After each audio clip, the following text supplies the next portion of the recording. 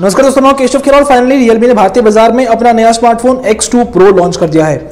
आप देख सकते हैं कि काफ़ी कम रेंज में कंपनी 855 प्लस चिपसेट स्मार्टफ़ोन लेके आई है, जिस पर आप देख सकते हैं कि लिखा है 64 मेगापिक्सल क्वाड कैमरा सेटअप और कंपनी ने अपनी तारीफ़ भी लिखी है फास्टर शार्पर बोल्डर तो चलिए, देखते हैं कि फ़ोन एक्चुअली में तारीफ़ के लायक है या नहीं फ़ोन की लुक्स कैसी है और स्पेसिफिकेशन क्या है। साथ साथ फ़ोन की अनबॉक्सिंग भी देख लेते हैं।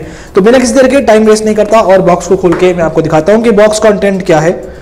यहाँ से बॉक्स को खोल लिया जाए। और आपको इसका बॉक्स कंटेंट दिखाता हूँ मैं कि क्या इसके अंदर मिलने वाला है एक नई तरीके से। तो आज मैंने अनबॉक्सिंग में कुछ क्रिएटिव तरीके की एडिटिंग करने की कोशिश की है। आप मुझे बताइएगा कि ये एडिटिंग स्टाइल आपको कैसा लगा? क्या आप इस तरीके की अनबॉक्सिंग और देखना चाहेंगे? ये देख सकते हैं कि यह है इसका बॉक्स कंटेंट जब आप इस फ़ोन को खरीदेंगे, ये सब कुछ आपको इसके साथ मुहैया करवाया जाएगा। ये रहा स्मार्टफ़ोन ग्लास बैक पैनल है और ब्लू कलर का फ़ोन मेरे पास आया है। मैं इसको ऑन कर कर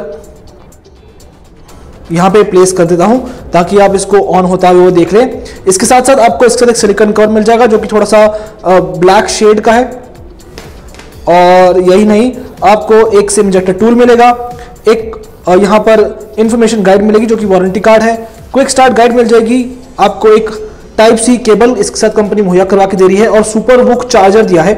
इस चार्जर के बारे में आप अच्छे से जानते हैं कि ये चार्जर जो है 50 वॉट की चार्जिंग सपोर्ट जो है मुहैया करवा के देता है।